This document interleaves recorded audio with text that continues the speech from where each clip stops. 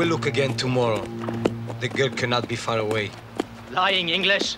Phew! Who would believe he would send us on a false trail? Indeed.